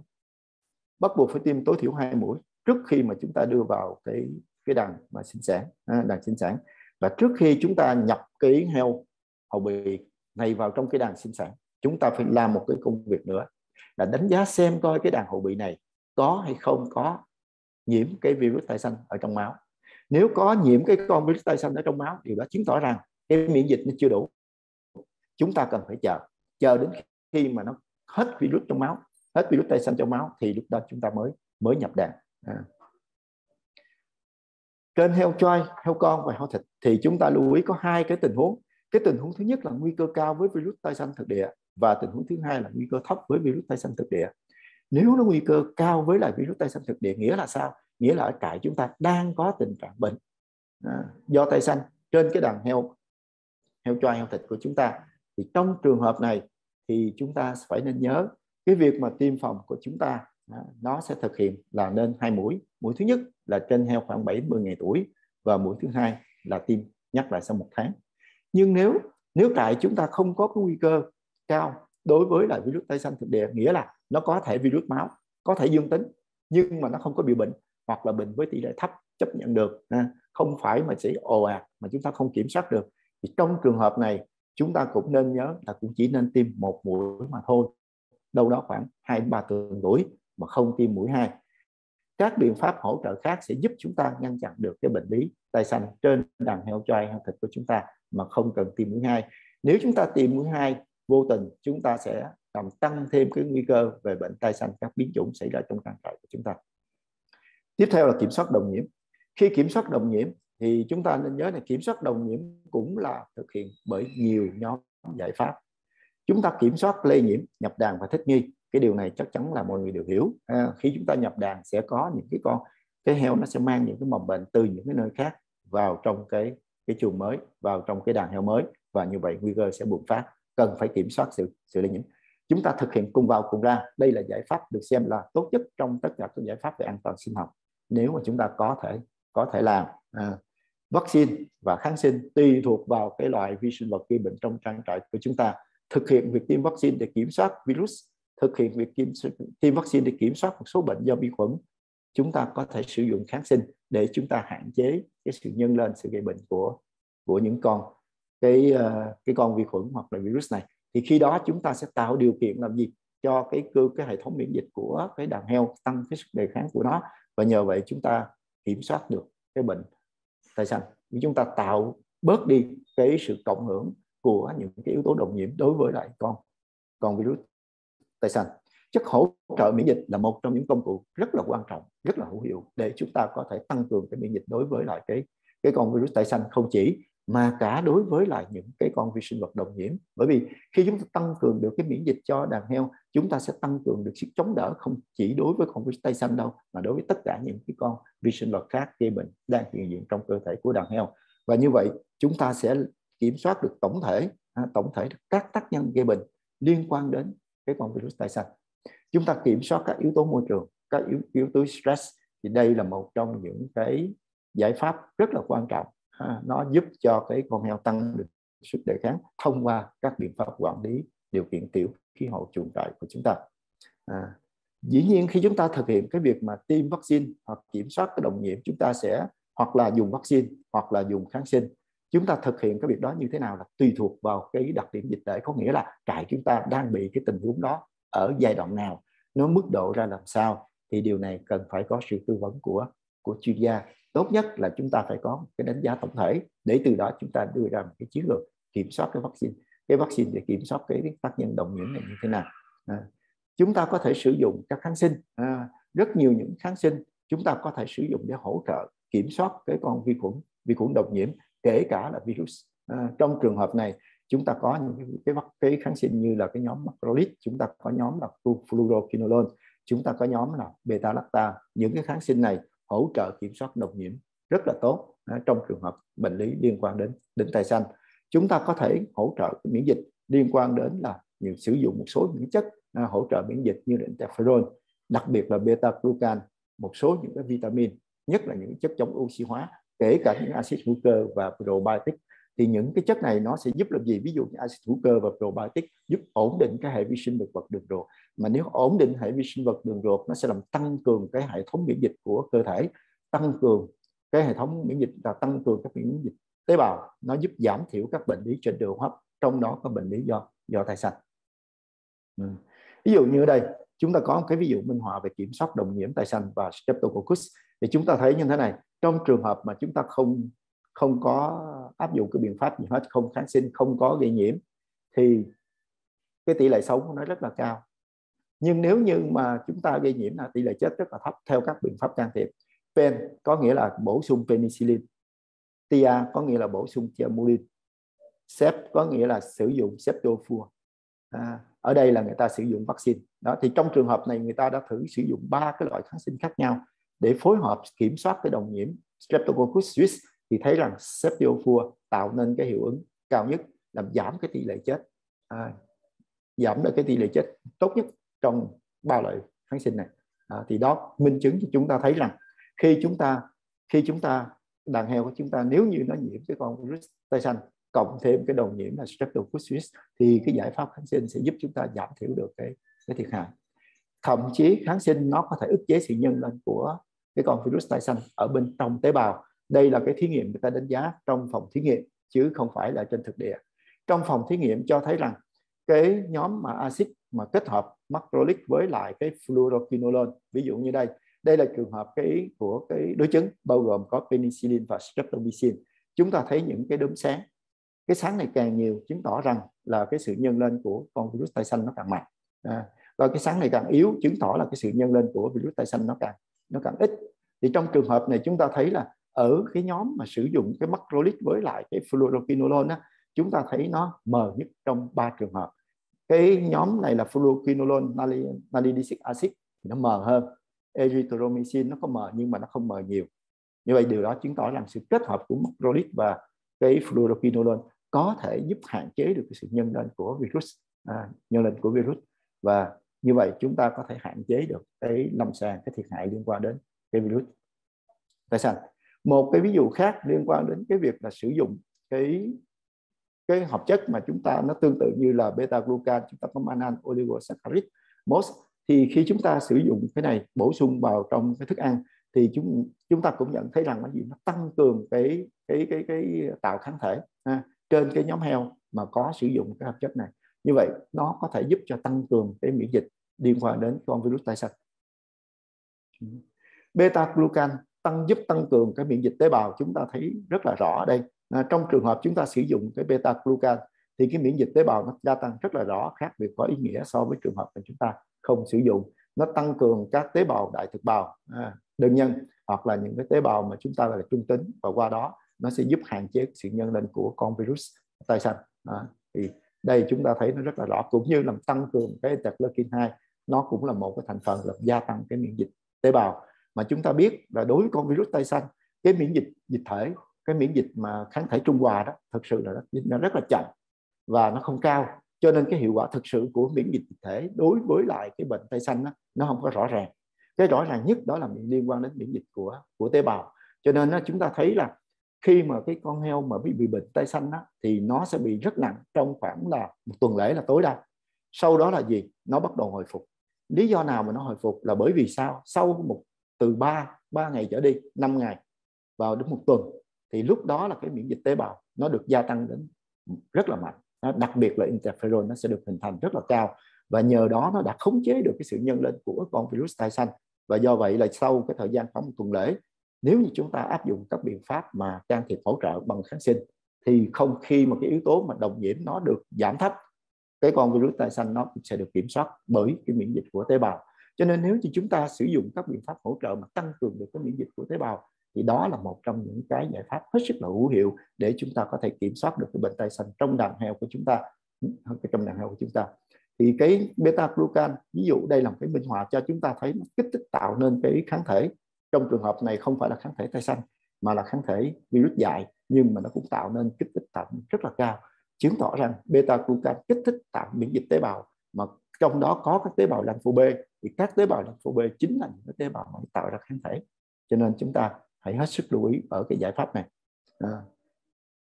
ở trong trong trường hợp của interferon thì chúng ta cũng thấy nếu như mà khi mà interferon mà có thì chúng ta thấy đây trong trường hợp mà có sự hiện diện của interferon thì cái sự nhân lên của virus gần như là không xảy ra. Ít nhất là trong vòng 30 giờ sau khi mà cái tế bào bị nhiễm con virus à, bị nhiễm con virus tay xanh và sau đó nó mới bắt đầu xuất hiện cái ờ, cái tình trạng mà bệnh liên quan đến con virus tai xanh đâu đó khoảng 48 giờ. Điều đó cho thấy là cái giải pháp là chúng ta tăng cường cái miễn dịch tế bào kể cả việc là chúng ta sử dụng cái interferon nó sẽ hỗ trợ rất tốt để giúp chúng ta kiểm soát được cái con virus sự nhân lên của con virus tay xanh và giúp chúng ta hạn chế được cái lâm sàng cái thiệt hại do bệnh tay xanh này kia này dạ. Thế cho nên khi chúng ta nói về cái biện pháp mà kiểm soát về miễn miễn dịch đó, nó liên quan đến cái cái con virus tay xanh này thì chúng ta thấy rằng kiểm soát đồng nhiễm của nó cũng như hỗ trợ miễn dịch đó là một giải pháp tổng thể. Khi chúng ta phối hợp được các giải pháp này lại với nhau thì nó sẽ đem lại cái hiệu quả cao nhất có thể. À. Thế qua tất cả những cái điều mà tôi vừa chia sẻ với lại mọi người, tôi xin phép được kết luận như thế này. Kết luận thứ nhất về một nguyên nhân đó là do cái vaccine nó tạo những chéo nó không tốt à, không tốt cho nên là nó sẽ dẫn đến là sự khác biệt về cái kiểu di truyền à, khác biệt về kiểu gen và làm giảm đi hiệu quả của vaccine. Và khi hiệu quả của vaccine nó giảm thì một trong nguyên nhân là xuất hiện những cái biến chủng mới. Khi nó xuất hiện những biến chủng mới thì hiệu quả của vaccine sẽ càng giảm nữa. À, cái thứ ba đó là cái hiện tượng đồng nhiễm. À, đồng nhiễm cao ở những trại mà bị bệnh nhiều thì cái đồng nhiễm thường là cao. Đặc biệt một vấn đề hết sức lưu ý với lại bà con của mình đó chính là đồng nhiễm con virus dịch tả heo châu phi ở thể mãn hoặc là ở thể cận lâm sàng rất không may là chúng ta không nhìn thấy cái biểu hiện của con virus châu phi. Cho nên chúng ta không không không, có nghĩa là không đánh giá đúng và đầy đủ cái vai trò của cái con virus dịch châu phi này đối với lại cái sự xuất hiện của cái bệnh tai xanh trên đàn heo của chúng ta trong thời gian gần đây. Về miễn dịch và vaccine, thì chúng ta sẽ thống nhất với nhau là vaccine sẽ giúp làm giảm cái thiệt hại về mặt lâm sàng, nhưng không bảo hộ hoàn toàn. Và đặc biệt là nó không an toàn với lại cái máy mang thai trong giai đoạn cuối cho nên chúng ta cần phải hết sức lưu ý hết sức lưu ý nhất là trên heo hậu bị và trên heo nái tơ. Làm thế nào đảm bảo tối đa cái hiệu quả miễn dịch ở giai đoạn này thì lúc đó chúng ta sẽ hạn chế được cái việc này. Và hơn nữa là hiệu quả của vaccine sẽ thay đổi theo chủng thực địa. Cái kết luận thứ ba đó là kiểm soát cái tay xanh. Muốn kiểm soát của tay xanh chúng ta phải áp dụng đồng bộ nhiều nhóm giải pháp. À, nhiều nhóm giải pháp. Chúng ta phải thực hiện cái an toàn sinh học tốt. Chúng ta phải kiểm soát tốt cái yếu tố stress chúng ta phải dùng sử dụng các chất hỗ trợ miễn dịch chúng ta phải kiểm soát bội nhiễm virus và vi khuẩn. Và một trong những cái công cụ mà chúng ta có trong tay đó là chúng ta phải xác định cho được xác định cho được cái kiểu gen và cái lineage à, của virus tay xanh hiện diện trong trang trại của chúng ta. Để qua đó chúng ta có thể là gì? Để qua đó chúng ta có thể sử dụng một cái vaccine phù hợp nhất với lại cái con virus tay xanh trong trang trại của chúng ta. Và để làm được điều đó chúng ta phải thực hiện cái việc tầm soát định kỳ à, tầm soát định kỳ thì qua đó chúng ta mới có thể xây dựng được một cái chiến lược phù hợp trong việc kiểm soát cái bệnh tay xanh này trên đàn heo của chúng ta. Và xin kết thúc ở đây. Xin chúc tất cả chúng ta à, sức khỏe và an lành với cái thông điệp 5K phòng chống Covid-19 xin cảm ơn.